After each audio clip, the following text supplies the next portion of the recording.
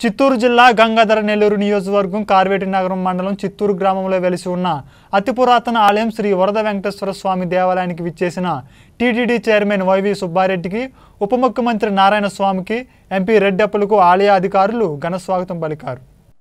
ఈ సందర్భంగా రాష్ట్ర ఉప ముఖ్యమంత్రి కళత్తూరు నారాయణస్వామి మాట్లాడుతూ భగవంతుని సంకల్పంతో వైఎస్ జగన్మోహన్ రెడ్డి సీఎం అయ్యారని వైవి సుబ్బారెడ్డి టీటీడీ చైర్మన్గా నియమితులై తమ నియోజకవర్గంలోని దేవాలయాల అభివృద్ధికి తోడ్పడుతున్నారని కొనియాడారు. అనంతరం టీటీడీ చైర్మన్ సుబ్బారెడ్డి మాట్లాడుతూ సీఎం జగన్ ఆదేశాల మేరకు బడుగు బలహీన వర్గాలకు భగవంతుడు చేరువలో ఉండడం కోసం అతి ప్రాచీన దేవాలయాల అభివృద్ధికి కృషి చేయడం జరుగుతుందన్నారు. ప్రతి ఒక్క దేవాలయం అభివృద్ధికి టీటీడీ దోహదపడుతుందన్నారు. అలత్తూరు గ్రామంలోని వరద వెంకటేశ్వర స్వామి దేవాలయం మరియు పెనుమూరు మండలంలోని కనిగిరి వెంకటేశ్వర స్వామి దేవాలయాలను అభివృద్ధి పరిచేందుకు సన్నాహాలు సిద్ధం చేస్తున్నట్లు తెలియజేశారు. ప్రతి ఒక్క దేవాలయానికి ఓ గోమాతను బహూకరిస్తున్నట్లు తెలిపారు. ఈ కార్యక్రమానికి రాష్ట్ర పార్లమెంటరీ కార్యదర్శి బండి జగదీష్ రెడ్డి మండల పార్లమెంటరీ కార్యదర్శి పురందర్ వైసీపీ రాష్ట్ర యువత అధ్యక్షులు విజయానందరెడ్డి సీనియర్ నాయకులు కేశవరెడ్డి జిల్లా పార్లమెంటరీ కార్యదర్శి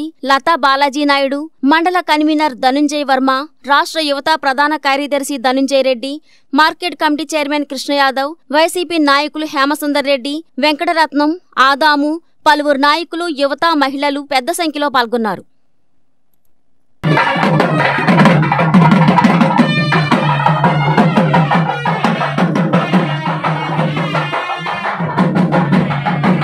వారికి తల వంచి నమస్కరిస్తూ ఈ రెండు గుళ్ళలో కొంత ఉద్యోగ సమస్యలు కూడా ఉంది సార్. ఇది అన్ని నాలుగైదు పంచాయతీ సంబంధించింది.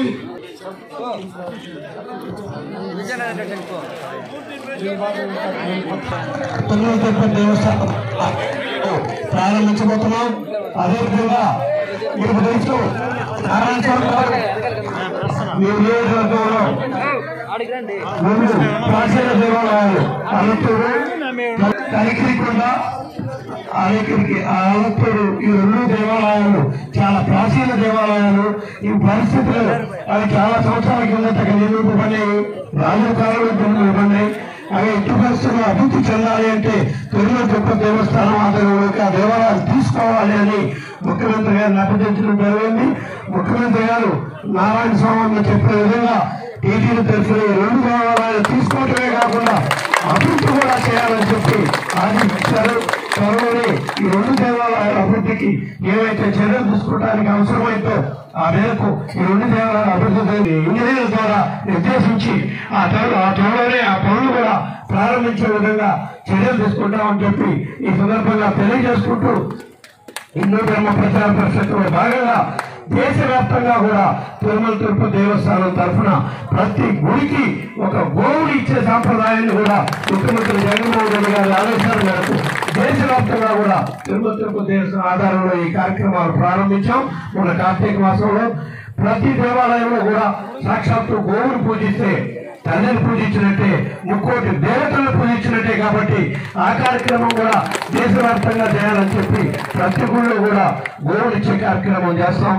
ఆ కార్యక్రమం ద్వారా గోవులు పూజిస్తే దేవుడు ప్రజలందరూ సుఖంగా సంతోషంగా దేశంలో ఉండే ప్రజలందరూ కూడా సుఖంగా సంతోషంగా ఉంటారు కాబట్టి ఆ కార్యక్రమం కూడా పెద్ద ఎత్తున రాబోయే రోజుల్లో దేశవ్యాప్తంగా టేకప్ చేస్తామని చెప్పి తెలుగు తిరుపతి దేవస్థానం తరఫున ఆ కార్యక్రమం చేస్తామని చెప్పి సందర్భంగా తెలియజేసుకుంటూ ఈ దేవాలయాలకు సంబంధించినంత వరకు నారాయణ స్వామి గారు పెద్దలు ఈ రెండు దేవాలయాలకు సంబంధించి కార్యక్రమాలు ఏమేమి చేయాలనేది లిఖితపూర్వకంగా మాకు ఇవ్వడం జరిగింది. ఆ చర్యలను కూడా మా అధికారులతో రాబోయే కాలంలో సంప్రదించి ఆ పనులు కూడా త్వరగా ప్రారంభించే విధంగా చర్యలు తీసుకుంటామని చెప్పి